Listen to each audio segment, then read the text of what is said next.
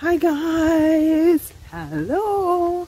I hope you're doing great today. I hope you had a fine weekend and you are ready to get your week started. Before I do anything else, I just want to take the time to say thank you guys so much. Thanks for subscribing, liking, sharing, and commenting because that is helping the channel to grow and I appreciate it immensely. If you haven't subscribed yet, please go ahead. Just hit that subscription button and subscribe. Now, I am in the garden and in this video, what I want to do is share two tips with you that can help you to save when it comes on to your planters and hanging baskets around your home and garden.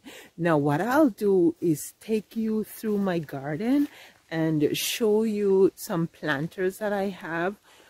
With plants in them mark my planters got started very late because i had so much i was doing. We are doing garden expansion. I had to do like all the um de-weeding and everything in the garden. And so maybe just maybe i had a little bit too much to do but next year for sure i know it will be different because some of the things that i had to do this year like taking care of that um, additional garden bed which we just started this year and this spot here that i'm also taking care of it's a new bed. I won't have those to two next year. So I know that it will be remarkably different. As I was saying, my planters got started late, but I think they're still looking pretty good. I'll show them to you and then I will give you two um, tricks that I use in order to save myself money and ultimately some time because who has a budget every year to buy annuals? Not this girl. So let me show you the planters now. So let's start on the deck. I have um, three planters on the deck that i want to show you.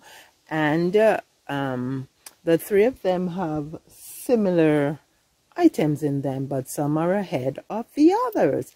This one here has royal carpet alyssum and it has a couple of African marigold that haven't started blooming yet and also French marigold there. I am actually looking forward to the African marigold when they start blooming because they're real pretty and they will create that contrast with the white um, alyssum and uh, they also create the height in the middle of the pot. In this planter, I also have some white royal carpet alyssum and uh, African marigolds and some pretty Johnny jump ups right here. I'll take you closer and show you the Johnny jump ups. These are the Johnny jump ups. I have more in another pot, so you will see them more distinctly. The African um, marigold here have actually started blooming. This one hasn't started yet, but you can see what I'm saying in that the marigold actually creates some height in the middle they have a thing where they say when you're doing a planter, you need a thriller, which is the one that's taller, a filler, which is around the thriller, and then a spiller that spills over the edge of the planter. Well, my alyssum here is spilling a bit right now, so that's pretty cool don't live by that principle. I just do what I think looks good, right? And you can do the same. Over here is another pot that has, it's a pedestal pot that has the royal carpet alyssum And the African marigold in the middle haven't really started blooming yet, but I'm looking forward to that. Something to look forward to, right? And the alyssum right here is contrasting so nicely with the bee balm that the bees love so much. So here I have another planter and this planter has the um, Royal Alyssum, white Alyssum um, as the spiller and it has African marigold in the center which will be getting taller and more colorful. So it creates that nice contrast between the white alyssum and the champagne blooms of the African marigold. I also have one across the way there that is pretty similar to this one. Now I ended up with a tomato plant in the middle here that is growing because when I seeded the marigolds, um, it actually hitchhiked. And so I just let it be. So I'll see where it goes.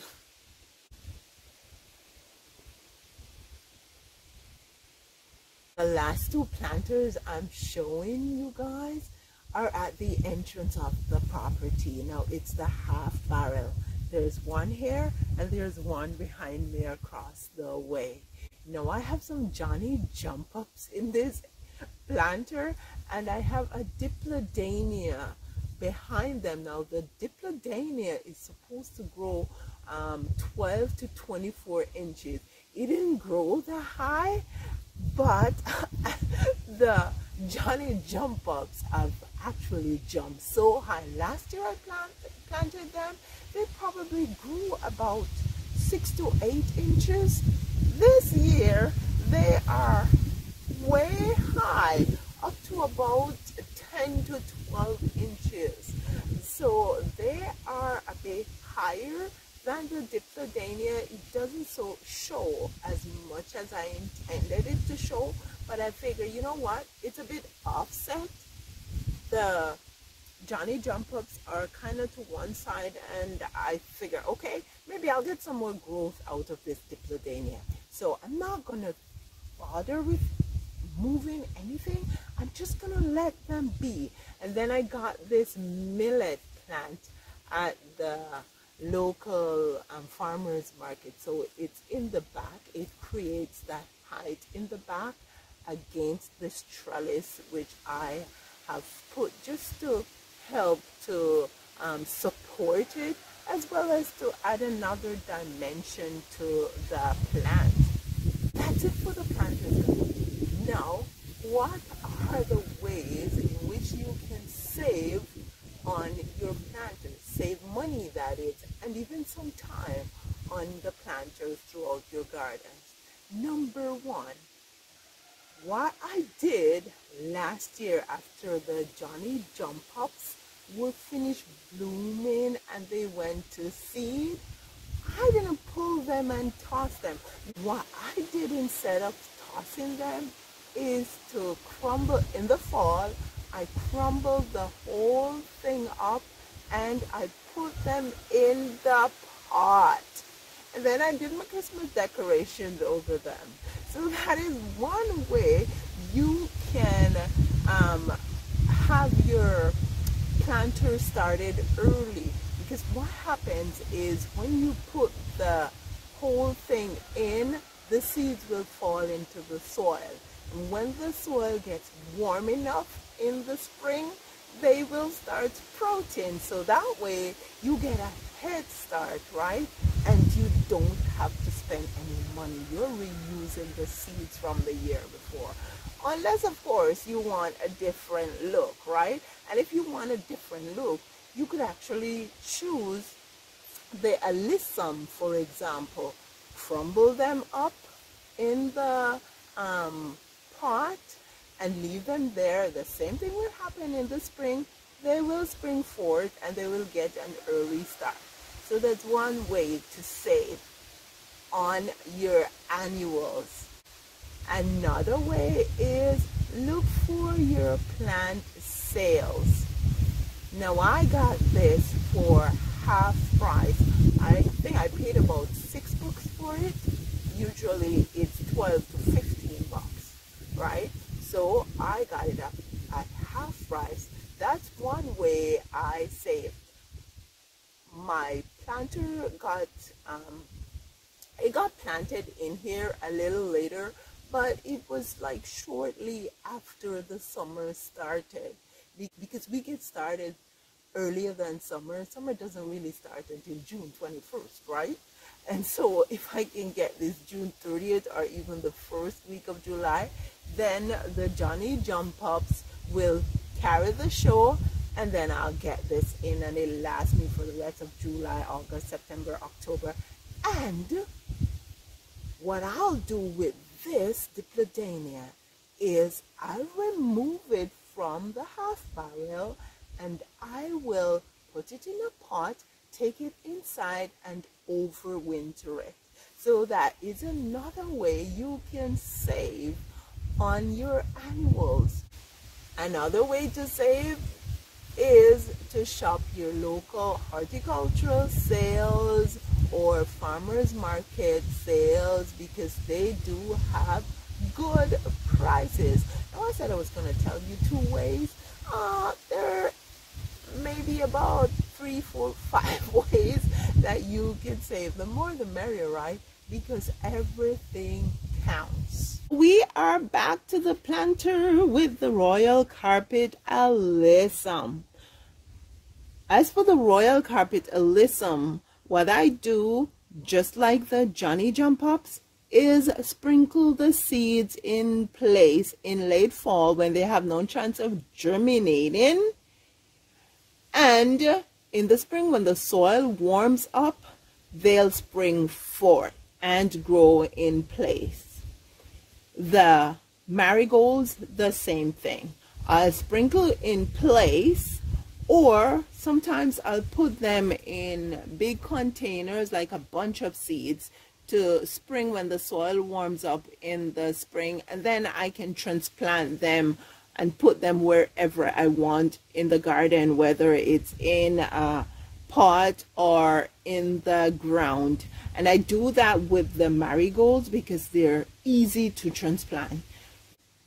You need to know which plants are easy to transplant and which plants will stand a lesser chance of surviving after transplanting.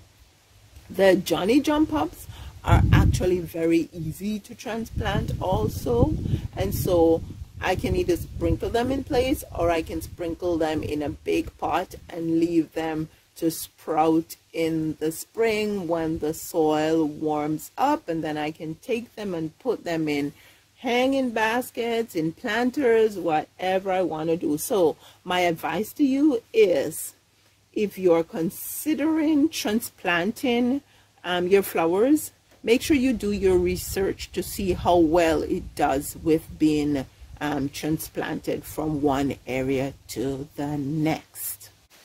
For the hanging baskets, I do similar. I just crush those babies in the fall when they're dry and leave them in the pots to grow when the soil warms up. You can also take your pots inside and just sprinkle your seeds in the pot and when it gets warm enough you put them outside by then maybe they have started sprouting these are my Johnny Jump Ups again. These I basically just crushed them when they were dry in the fall last year. I left them in the pot and they grew in the spring.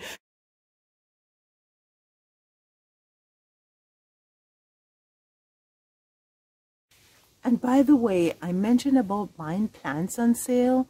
You can look for seeds on sale also. But make sure that you check those dates. You don't want to buy those seeds and they're no good, right? You want a good seed that's going to germinate. So guys, there you have it.